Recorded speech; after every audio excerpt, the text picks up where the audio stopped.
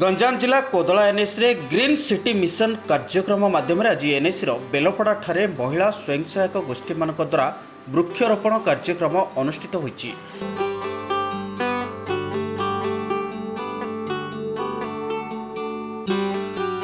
Beguniapada block horticulture ପକ୍ଷରୁ ଯୋଗାଇ ଦିଆଯାଇଥିବା ନଡ଼ିଆ ଚାରାଗୁଡ଼ିକ ବେଲପଡ଼ା ସ୍ଥିତ ପୋଖରୀ ହୁଡ଼ାରେ ରୋପଣ କରାଯାଇଥିଲା ଗଞ୍ଜାମ ଜିଲ୍ଲାରେ ପ୍ରତି ସୋମବାର ଜଳ ସ୍ୱଚ୍ଛତା ଦିବସ ପାଳନ କରାଯାଉଥିବା ବେଳେ ଆଜି ବୃକ୍ଷରୋପଣ କାର୍ଯ୍ୟକ୍ରମ ସହ ଜଳ ସ୍ୱଚ୍ଛତା ଦିବସ ମଧ୍ୟ ପାଳନ କରାଯାଇଛି।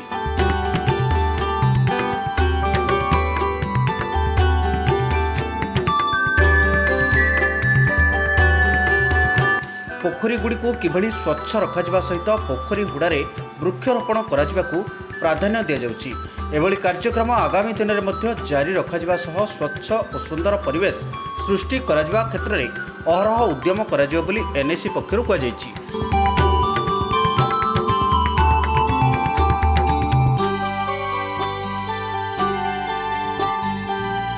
କାର୍ଯ୍ୟକ୍ରମରେ ମହିଳା ସ୍ୱୟଂ ସହାୟକ ଗୋଷ୍ଠୀର ସଦସ୍ୟମାନେ ଉପସ୍ଥିତ ରହି ପିଟ୍ ଖନନ କରିବା ସହିତ ନଡ଼ିଆ ଚାରାଗୁଡ଼ିକୁ ରୋପଣ କରିଥିଲେ।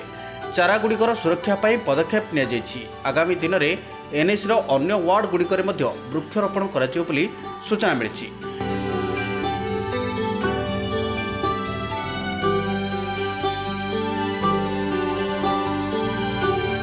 ଏହି ଅବସରରେ ଏନ୍ଏସି ଅଧ୍ୟକ୍ଷ ସୂର୍ଯ୍ୟନାରାୟଣ ନାୟକ ଉପାଧ୍ୟକ୍ଷ ରଞ୍ଜିତା ସେଠୀ ସମସ୍ତ କାଉନସିଲର ଏନ୍ଏସି କାର୍ଯ୍ୟନିର୍ବାହୀ ଅଧିକାରୀ ଦାୟିତ୍ୱରେ ଥିବା ତହସିଲଦାର ସୁସ୍ମିତା ଶତପଥୀ ସଫେଇ କର୍ମଚାରୀ ଉଦ୍ୟାନ ବିଭାଗର କର୍ମଚାରୀ ମୁକ୍ତା ଟିମ୍ ଜଳସାଥୀ ପ୍ରମୁଖ ଉପସ୍ଥିତ ରହି ସହଯୋଗ କରିଥିଲେ।